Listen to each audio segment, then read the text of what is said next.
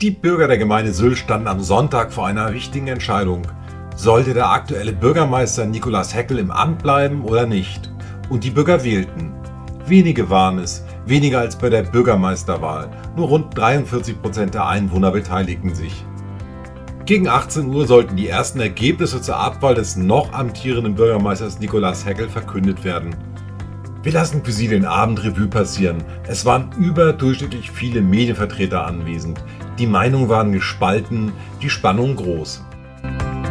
Es ist Sonntag, 17.57 Uhr, der 29. September. Ein wirklich spannender Tag auf Sylt. Ich sitze hier auf der Auswechselbank, könnte man sagen. Und das ist auch schon unser Thema. Heute geht es darum, ob der noch amtierende Bürgermeister Nikolaus Heckel ausgewechselt werden soll. Wenn der ausgewechselt werden soll, muss aber erstmal seine Amtszeit beenden. Er möchte sie nicht beenden, aber der Gemeinderat und viele andere sagen, doch, Heckel muss weg. Nun hat der Wähler das Wort. Wie er votiert hat, das erfahren Sie hier bei Sylt 1. Unser Chefredakteur Axel Link traf sich mit dem Lister Bürgermeister Ronald Benck, um die Stimmung auf der Insel zu erfassen. Ich habe schon kurz anmoderiert. Das ist ja quasi die Auswechselbank. Da könnte jetzt jemand sitzen, der ausgewechselt wird. Roland Benck wird nicht ausgewechselt. Aber Ronald Benck ist Bürgermeister und der weiß, wie es ist, wenn an einem Bürgermeister gezweifelt wird, wenn andere sagen, du machst das ja gar nicht richtig. Das ist gar nicht so einfach, oder? Nee, nein, natürlich. Aber das muss man natürlich vorher wissen. Wenn man so einen Posten annimmt, dann, äh, glaube ich, musste man ein breites Kreuz haben und äh, viele schlucken. Das ist ganz normal. Also von daher. Also können Sie sich in die Lage von Nikolaus Heckel versetzen. Auf der anderen Seite sagen Sie aber auch, okay, die Hausaufgaben müssen gemacht werden und in Augen der Amtsgemeinden, Sie waren ja auch mit dabei, hat das nicht richtig gemacht. Nein, wir haben es ja viele Jahre probiert ähm, mit Schlichtungsgesprächen beim Landrat und ähm, beim Kreis, aber es hat leider nicht gefruchtet, sondern es wurde äh, schlechter statt besser und von daher begrüße ich natürlich dann auch einen Wechsel. Mhm. Nun ist es quasi jetzt 18 Uhr, Schlag 18 Uhr. Jetzt gibt es zwei Möglichkeiten. A, Herr Heckel ist von den Bürgern abgewählt worden. B, er ist nicht abgewählt worden. Zwei Optionen. Welche Ihnen lieber ist, haben wir jetzt schon vernommen. Aber es geht mal um die Position mal angenommen, er bleibt und dann? Ja, also das kann ich mir beim besten Willen nicht vorstellen, weil das Vertrauensverhältnis völlig zerstört ist, ähm, sowohl in der Politik der Gemeinde Sylt als auch mit den Amtsgemeinden. Also es, es kann so nicht funktionieren. Und ich, ehrlich gesagt, äh, fehlt mir auch so ein bisschen die Fantasie, wie es dann weitergehen soll. Okay, gehen wir mal auf die andere Seite. Es passiert, äh, Nikolaus Heckel muss gehen. Jetzt kommt die Fee und sagt, lieber Ronald Benk, Wen hättest du denn gerne aus Auswechselstürme jetzt auf dieser entscheidenden Trainerbank da in Westerland? Ja, ich meine, das Ganze muss ja ausgeschrieben werden, wie es auch das äh, Gesetz vorschreibt. Und ich glaube, dass es da eine Vielzahl an Bewerbern gibt, die qualifiziert und äh, gut genug sind, diesen Posten nach auszufüllen. Jetzt gibt's ja bei großen Vereinen ist das ja so, da gibt's einen eigenen Nachwuchs, also aus, aus der eigenen Jugend stehen könnte man nehmen. Es werden aber auch gerne dann sozusagen teure von, von außen geholt. Haben Sie eine, äh, sagen Sie, das, das, wir haben jetzt einen nicht amtierenden Bürgermeister, aber einen stellvertretenden Bürgermeister. Wäre das eine Option? Kommen Sie mit dem besser klar? Ja, selbstverständlich. Ich arbeite sehr gut und seit vielen Jahren, äh, wir können das beim Namen nennen, mit dem stellvertretenden Bürgermeister der Gemeinde Sylt zusammen. Und äh, ja, er ist qualifiziert, hat ein gutes Führung, einen guten Führungsstil. Also von daher glaube ich, dass der auch innerhalb der Gemeinde Sylt akzeptiert wird. Das glaube ich ganz bestimmt, ja. Dann warten wir mal ab, was jetzt mal rauskommt. Vielen Dank. Gerne. Um 19.21 Uhr war es klar. Mit einer klaren Mehrheit von über 80 Prozent würde Nikolaus Heckel aus dem Amt gewählt. Heckel hatte die Größe, an diesem für ihn nicht besonders gut verlaufenden Abend ins Rathaus zu kommen. Nein, nein. So, ja, es ist äh, 19.15 Uhr. Ähm, man hat am Anfang gesagt, na, die Entscheidung könnte so gegen 20 Uhr fallen. Nun ist sie äh, sehr früh gefallen. Nikolaus Heckel, erstmal herzlich willkommen im Rathaus.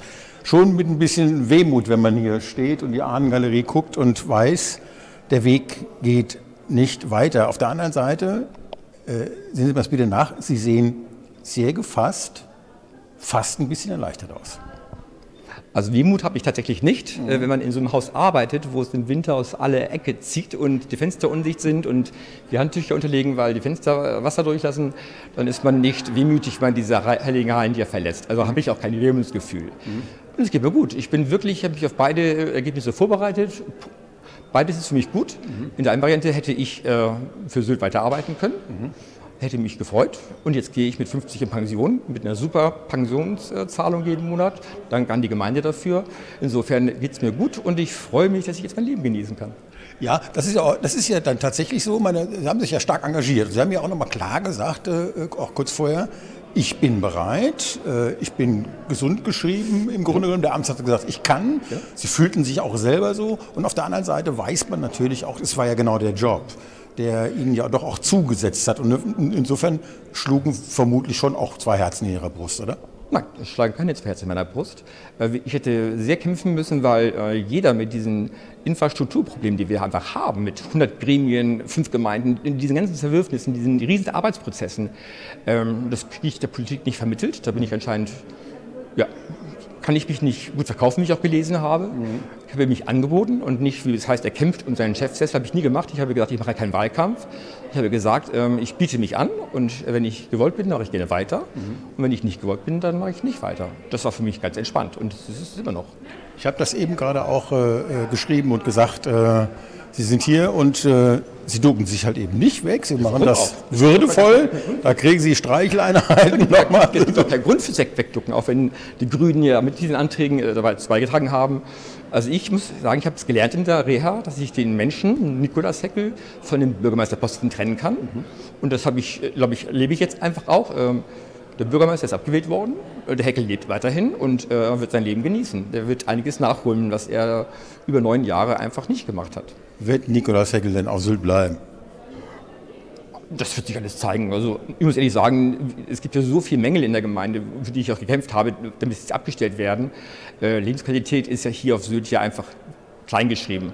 Und äh, es gibt Orte äh, in Deutschland, die, da hat das einen anderen Wert eine andere Wertung. Und äh, ich habe ja viele Hobbys, die ich auch jetzt ausleben werde. Rettungsdienst fahren, Lehrer in der Fachhochschule, Fitnesstrainer, alles. Das sind alles Sachen, die ich jetzt ausbauen möchte. Und das sind Menschen im Umfeld, die mich mögen, wertschätzen, die wissen, was sie an mir haben. Und insofern werde ich da schauen, wo ich meinen Mittelpunkt finde, wo die Menschen mich möchten und wo die Menschen mich lieben. Und wir begleiten Sie da gerne dabei. Jetzt kommt noch sozusagen nochmal äh, quasi Ihr, Ihr letzter, vorerst letzter großer Auftritt. Wir müssen gleich nochmal dem NDR Rede äh, und Antwort stehen. Die werden fragen. Drücken die Daumen. Wir sehen uns hoffentlich bald wieder. Vielen Dank. Danke Ihnen. Vielen Dank. Danke. Ja, es ist jetzt 19.05 Uhr. Ähm, der Pressesprecher hat gesagt, ach, es könnte 20 Uhr werden, könnte auch 21 Uhr werden. Nun ist um 19.05 Uhr schon Klarheit. Das zeigt auch, das Wählervotum ist sehr eindeutig äh, gewesen. Es sind noch drei äh, Stimmbezirke ausgezählt, aber wir haben das Quorum schon erfüllt. Was überwiegt jetzt die Freude, dass sag mal, der Prozess jetzt sozusagen wenigstens endlich beendet ist, man Klarheit hat oder sagen Sie, oh, da liegt eine Menge vor uns?